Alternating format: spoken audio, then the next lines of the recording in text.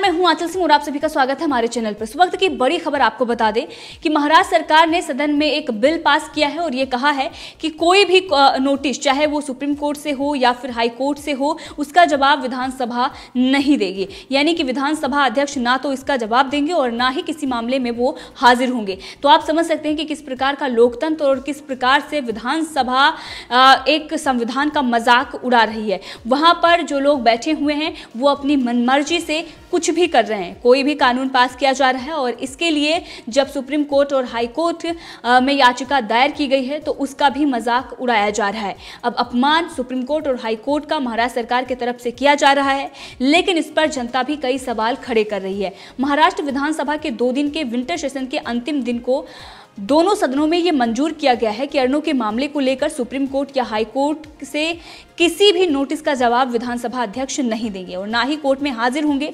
विशेष तौर से पूरक मांगों के लिए बुलाए गए सत्र में ये कहा गया है कि अब कोई भी नोटिस हो, चाहे किसी भी कोर्ट से आए, उसका जवाब नहीं दिया जाएगा। अब इसको लेकर अगर हम बात करें, अब इसको लेकर अगर हम विस्तार में बात करें तो अर्णो गोस्वामी पर विशेष अधिकार हनन का प्रस्ताव लाया गया था। इस पर अर्णो ने सुप्रीम कोर्ट का दरवाज़ा खटखटाया था। उनके कोर्ट में जाने का मामला मंगलवार को विधानसभा में गूंजा। विधानसभा अध्यक्ष नाना पोटाले ने सदन में ये प्रस्ताव रखा कि इस मसले को लेकर अगर सुप्रीम कोर्ट या हाई कोर्ट कोई भी नोटिस देता है तो विधानसभा अध्यक्ष का, अध्यक्ष इसका जवाब जवाब नहीं देंगे और ना ही कोर्ट में हाजिर होंगे। इस पर बीजेपी ने भी पलटवार किया है। कई सवाल खड़े किए गए हैं बीजेपी के नेताओं के तरफ़ से। लेकिन इस पर लगातार जो लोगों की प्रतिक्रियाएँ आ रही हैं उस पर हम बात करेंगे। सबसे पहले अगर हम बात करें तो 16 अक्टूबर को किस तरीके से अर्णव गोस्वामी को नोटिस दिया जा, जाता है?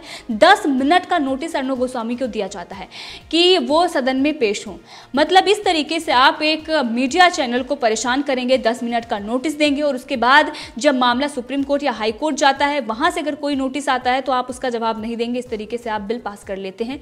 तो ये बहुत ही गलत है, सरासर गलत है और महाराष्ट्र में किसी भी प्रकार का कोई लोकतंत्र नहीं बचा हुआ है। सोनिया गांधी ने लोकतंत्र को तार तार कर दिया है, जो हर बार प्रेस कॉन्फ्रेंस करके आती हैं और ये कहती हैं कि केंद्र सरकार पर हमला बोलते हुए कि यहाँ पर लोकतंत्र नहीं है, संविधान की हत्या की जा रही है, लोकतंत्र की हत्या की जा रही है। सोनिया गांधी से जनता भी सवाल पूछ रही है कि महाराष्ट्र में आपकी सरकार है और वहाँ पर जो तानाशाही चल रही है, वहाँ पर आप क्यों नहीं सवाल खड़े करती हैं? और क्यों नहीं उद्धव ठाकरे सरकार से आप सवाल पूछते हैं कि ये किस तरीके की सरकार चल रही है, जहाँ पर कोर्ट की अवमानना हो रही है? कोर्ट के किसी भी सवालों का जवाब नहीं दिया जा रहा है। कितने भी नोटिस आ जाए, उस पर ना तो पेश होना है और ना ही जवाब देना है। ये कैसा बिल पास किया गया है?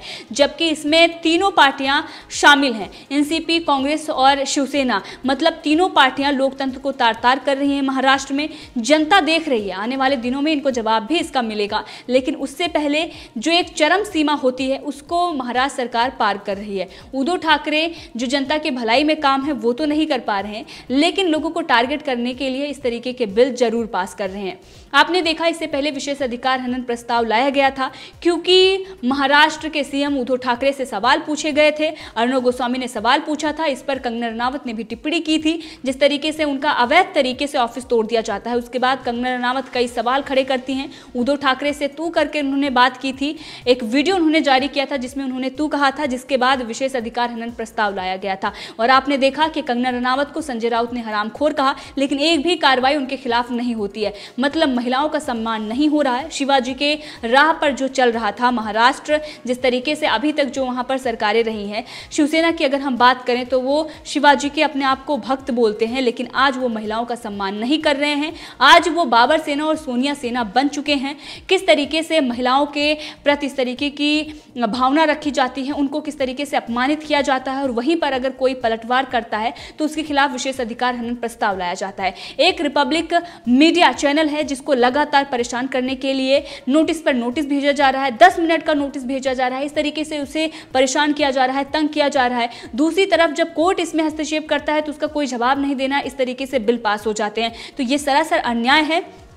अब इसके पर अगर हम बात करें तो सुप्रीम कोर्ट ने पहले ही जिस तरीके से राहत दी हुई है अर्णव गोस्वामी और कंगना रनावत दोनों को, और इसके साथ ही विधानसभा जो विशेष अधिकार हनन प्रस्ताव पास कर रही थी, उस पर भी सुप्रीम कोर्ट ने ये कहा था कि इस पूरे मामले को लेकर जिस तरीके से महाराष्ट्र सरकार कर रही है, वो सही नहीं है।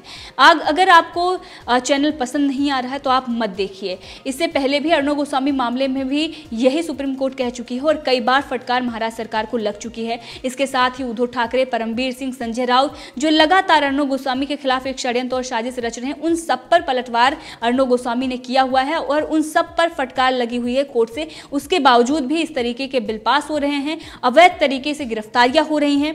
इस पर एक यूज़र ने लिखा है कि महाराष्ट्र सरकार ने अपनी विधानसभा में मत पास कर दिया है कि अर्णव गोस्वामी के संबंध में कोई भी सुप्रीम कोर्ट, हाई कोर्ट का ऑर्डर आता है तो उस ऑर्डर को माना नहीं जाएगा। इसका मतलब महाराष्ट्र सरकार सुप्रीम कोर्ट से भी ऊपर हो गई है। ये एक के एल ससदेवा नाम के यूज़र ने लिखा है। इसके साथ ही कई यूज़र हैं जो यही सवाल खड़े कर रहे हैं और ये कह रहे हैं कि इस तरीके की धमकी क्यों दी जा रही है। इससे पहले आपने देखा कि प्रताप सरनाइक, जिन्होंने कंगना रनावत को धमकी दी थी और ये कहा था अगर अगर कंगना रनावत यहाँ पर आती हैं तो उनका मुँह तोड़ दिया जाएगा। इसके बाद ही ईडी का छापा उनके घर पर पड़ता है और किस तरीके से खुलासे होते हैं। तो कंगना रनावत ने जो कुछ भी कहा था, जिस बारे में ये विशेष अधिकार हनन प्रस्ताव लेकर आ रहे हैं, वो महाराष्ट्र में सच हो रहा है। कानून का पालन वहाँ पर हो नहीं रहा है लोकतंत्र बचा नहीं है, संविधान को तार तार किया जा रहा है, संविधान को फॉलो नहीं किया जा रहा है और यही सारी चीज़ें जनता भी सवाल खड़े कर रही थी, यही सारी चीज़ें कंगना रनावत ने भी खड़ी की थी जब उनके खिलाफ विशेष अधिकार हनन प्रस्ताव लाया गया था। यही सारी चीज़ें थी जिस पर अर्णव गोस्वामी ने सवाल खड़े किए थे, जिसके बाद उनको लगातार टारगेट किया जा रहा है। अब इसके साथ ही बात करें तो अर्णव गोस्वामी और तमाम उनकी जो टीम है, इस पूरे मामले में किस तरीके से कानूनी दावपेच से गुजर रही है, लगातार उन पर एक पर एक केस ठोके जा रहे हैं, किस तरीके से अवैध गिरफ्तारियाँ हो रही हैं, इस सबको लेकर जनता आक्रोशित है और वो सवाल ये खड़ा कर रही है कि इस तरीके की जो मनमानी महाराज महाराष्ट्र सरकार कर रही है जो सुप्रीम कोर्ट और हाई, बॉम्बे हाई कोर्ट से अपने आप को ऊपर समझ रही है। उस पर अभी तक क्यों कोई कार्रवाई नहीं हो रही है? राष्ट्रपति शासन लगाना चाहिए परमवीर सिंह को इस्तीफा देना चाहिए और इसके साथ ही उद्धव ठाकरे सरकार को भी बर्खास्त कर देना चाहिए। यही जनता की मांग। लगातार अर्णव गोस्वामी के समर्थन में लोग खड़े हो रहे हैं और ये कहा जा रहा है कि अर्णव गोस्वामी की या फिर किसी भी रिपब्लिक टीम की अगर किसी के ऊपर इस तरीके की कार्रवाई अब होती है तो जनता ये नहीं सहेगी और जनता एक बार फिर सड़कों पर उतरेगी जिस तरीके से अर्णव गोस्वामी की रिहाई के लिए जनता सड़कों पर उतरी थी। ऐसे बहुत सारे कमेंट हैं जो हमारे पास इस वक्त अर्णव गोस्वामी के समर्थन में आ रहे हैं और ये कहा जा रहा है कि ये जो बिल पास किया गया किया गया है, वो सरासर अन्याय है। लोकतंत्र की हत्या है और संविधान को फॉलो नहीं किया जा रहा है। और इसके साथ ही सुप्रीम कोर्ट और बॉम्बे हाई कोर्ट से ऊपर महाराष्ट्र सरकार अपने आप को समझ रही है और जो लोग भी इस तरीके का प्रस्ताव लेकर आते हैं और पास कराते हैं, उन लोगों पर भी कार्रवाई करनी चाहिए। चाहिए। इससे पहले आपने देखा कि 16 अक्टूबर को अर्णव गोस्वामी को 10 मिनट का नोटिस दिया जाता है। और ये कहा जाता है कि अर्णव गोस्वामी 10 मिनट के अंदर सदन में हाजिर हों। अब इसको लेकर अर्णव गोस्वामी ने भी बहुत सारे उन्होंने शो किए हैं और उन्होंने बताया कि महाराष्ट्र सरकार का असली चेहरा क्यों है? महाराष्ट्र सरकार इस तरीके से क्यों बौखलाई हुई है? वो क्यों चाहती है कि अर्णव गोस्वामी पर इस तरीका तरीके का प्रेशर बनाया जाए? क्योंकि अर्णव गोस्वामी लगातार नए नए न्यूज़ चैनल खोलने की उन्होंने पहले ही ऐलान कर दिए थे, अब सारे प्रदेशों के, और हमने आपको पहले ही बताया था कि सभी को अपना रीजनल चैनल देने वाले हैं अर्णव गोस्वामी अब इसके पीछे कुछ और भी न्यूज़ चैनल हैं, जिनके बाकी जो चैनल हैं रीजनल वो आ चुके हैं, जिनको अर्णव गोस्वामी हिंदी चैनल में टक्कर दे रहे हैं इंग्लिश में सबसे आगे चल रहे हैं, और बाकी अगर रीजनल चैनल आ जाएँगे तो ज़ाहिर सी बात है कि अर्णव गोस्वामी का चैनल चलेगा। उनकी जो पत्रकारिता की स्टाइल है, लोगों को पसंद आ रही है, जिस तरीके से वो बेबाकी से बात करते हैं, जिस तरीके से उनका जो अंदाज है, जो सच दिखाने का उनका लहजा है, वो लोगों को पसंद आ रहा है और इसीलिए बाकी जो चैनल है, वो भी अर्णव गोस्वामी और रिपब्लिक टीम की छवि को नुकसान पहुँचाने के लिए तमाम तरीके की चीज़ें कर रहे हैं। लेकिन सारी चीज़ें उनकी नाकाम हो रही है। महाराष्ट्र सरकार से उनका गठबंधन हुआ है। फेक टीआरपी केस में जिस तरीके से हमने देखा, लगातार उनको परेशान किया जा रहा था, जबकि नाम किसी और का। तो महाराष्ट्र सरकार जो ये इंडिया टुडे नहीं, बल्कि रिपब्लिक टीवी पर कार्रवाई करके ये एक संदेश दे रही है कि बाकी चैनलों से किस तरीके से गठबंधन महाराष्ट्र सरकार का हुआ है। इससे पहले जब सीबीआई जाँच की फेक टीआरपी केस मांग की गई तो उसका भी एनबीए ने विरोध किया। उन्होंने साफ़ कर दिया था कि ये सारा जो षड्यंत्र है, वो सिर्फ़ और सिर्फ़ अर्णव गोस्वामी को रोकने के लिए और इसलिए है कि अर्णव गोस्वामी आगे ना बढ़े। उनका जो चैनल लगातार चल रहा है, जिस तरीके से जनता उसको प्यार और सम्मान दे रही है, वो ना मिले।